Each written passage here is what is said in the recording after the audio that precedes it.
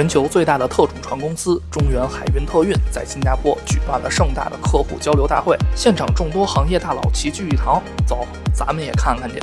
大会以“服务全球，联通蔚蓝”为主题，围绕行业现状、痛点难点、未来发展等议题展开讨论。中原海运特运董事总经理黄楠在会上介绍了公司发展。中国驻新加坡大使馆政务参赞张立军在会上肯定了中原海运特运是一带一路践行者。新加坡海事及港务管理局国际海事中心高级署长曾伟霆在致辞中感谢中原海运特运对新加坡海事发展的支持。麦肯锡全球董事合伙人 Stephen Saxon 分享了2022。四年航运市场发展趋势的观点。中原海运特运东南亚公司航运经营部总经理李建忠则全面介绍了特运的海外业务发展。中原海运特运拥有各类船舶，共一百三十艘，四百五十多万载重吨。未来三年，中原海运特运还将陆续接入九十艘新船，运力规模将再翻一番。